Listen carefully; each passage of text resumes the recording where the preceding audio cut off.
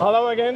Day one still, the end of the day. Actually, still, it feels like it's the start of the day. It's still a very busy stand here on the HP booth at Labelexpo Americas 2024. I'm with Aviram, the uh, product manager, HP Indigo, for the 200K, which is the latest iteration of our wide web portfolio. Um, exactly. Aviram, we've had, I think, success here. I think you told me there's more than how many machines uh, globally for the wide web? Yeah, we have around close to 400 presses right now out there. Fantastic. Uh, looking at the 200K, since our latest release in uh, July last year, we already placed 30 units. Wonderful. Looking by the end of this year, 24, we're going to place around 50. Fantastic. And Aviram, in, in terms of some new developments with the 200K, what makes it, you know, this is the next iteration from the 25K, which has been hugely successful, particularly in new growth segments. But tell us a, a few details of why, you know, what, what, what the new features are, uh, what makes the 200K special. Sure. So I think, first of all, to make it really short, this press is running 30% faster and up to 45% more productive. We're talking about maximum speed of 56 meter per minute. And I think the main job or main work that we did around that is that we took all the experience and all the knowledge that we have from the install base, and we're talking about accumulated experience of close to 400 presses. We learned and improved that.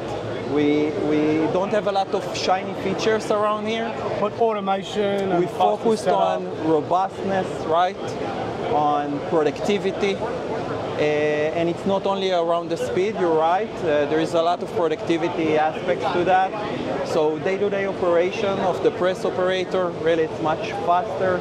Uh, and also the setup is going to be much more quick, quicker with uh, you know features like uh, Spotmaster, which makes the setup easier. easier and automatic. Uh, you will not need the, the right the, the, knowledge of a color expert to set up uh, a job. And obviously, the press, obviously, it's 760 wide. It lends itself beautifully to flexible packaging, as we know.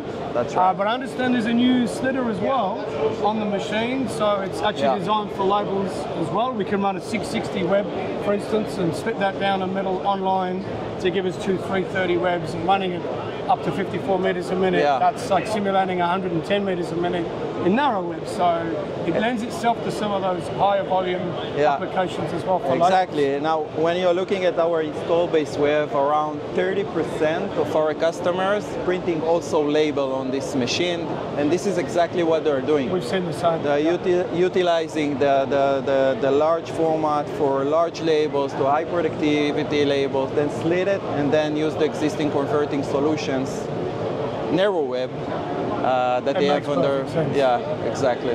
Well, we're very excited to see the product develop. Uh, we hope to, to announce the very first one soon in Australia, but let's see where we go. Okay. Um, thanks for your time, Aviram. Have a. Thank wonderful you very show, much. Mate. See you around, buddy. Thank you. Thank you.